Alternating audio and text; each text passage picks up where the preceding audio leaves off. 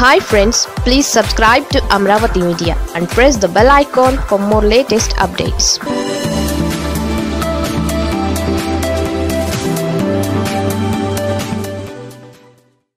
AP కొత్త సీఎస్గా జవహర్ రెడ్డి ఆయనే ఎందుకంటే ఆంధ్రప్రదేశ్ ప్రభుత్వ నూతన కార్యదర్శిగా కెఎస్ జవహర్ రెడ్డి డిసెంబర్ ఒకటవ తేదీ నుంచే బాధ్యతలు స్వీకరించనున్నట్లు సమాచారం.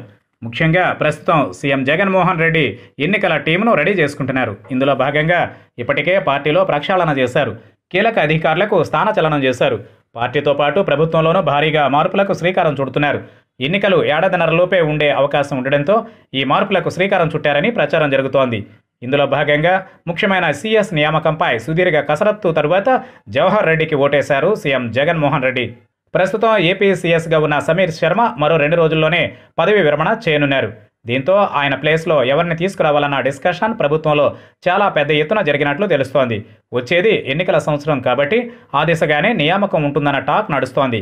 ఈ పదవికి చాలామంది ఐఏఎస్లు పోటీలో ఉన్నా ప్రస్తుతం సీఎంకి స్పెషల్ సెక్రటరీగా ఉన్న జవహర్ రెడ్డి వైపు సీఎం జగన్ మొగ్గు చూపారని తెలుస్తోంది. ఇప్పటికే నియామకం పూర్తయిందని సమాచారం. డిసెంబర్ ఒకటిన ఆయన అధికారికంగా బాధ్యతలు స్వీకరించనున్నారు. ఆయన రెండు వేల ఇరవై నాలుగు జూన్ వరకు సర్వీస్లో ఉంటారు. అంటే ఏడాదిన్నర పాటు సేవలు అందిస్తారు. కరెక్ట్గా ఎన్నికలు అయిపోయి ఫలితాలు వచ్చిన తరువాత రిటైర్ అవుతారు. అందుకే ఆయన నియామకానికి సీఎం మొగ్గు చూపారనే ప్రచారం జరుగుతోంది. పంతొమ్మిది వందల తొంభై బ్యాచ్ ఐఏఎస్ అధికారి అయిన జవహర్ రెడ్డిపై ఎప్పటి నుంచో జగన్కు ప్రత్యేక ఇంట్రెస్ట్ ఉందనే మాట వినిపిస్తోంది. ఆయన ఇప్పటి వరకు వివిధ జిల్లాల కలెక్టర్గా చేశారు. జగన్ అధికారులకు వచ్చాక ఆయనకు ప్రాధాన్యత పెరిగింది. ఆరోగ్య శాఖ కార్యదర్శిగా టీటీడీ ఈఓగా సేవలు అందించారు. ఇప్పుడు సీఎంకు స్పెషల్ సెక్రటరీగా ఉన్నారు. అయితే ఐఏఎస్ అధికారి శ్రీలక్ష్మి పేరు కూడా ప్రధానంగా వినిపించింది. వైఎస్ కుటుంబానికి నమ్మిన బంటుగా గుర్తింపు తెచ్చుకున్న ఆ ఐఏఎస్ అధికారి తదుపరి సీఎస్ రేసులో ముందున్నారనే మాట బలంగా వినిపిస్తోంది. జగన్ అక్రమాస్తుల కేసులో ఆరోపణలు ఎదుర్కొని చివరికి జైలుకు కూడా వెళ్ళారు.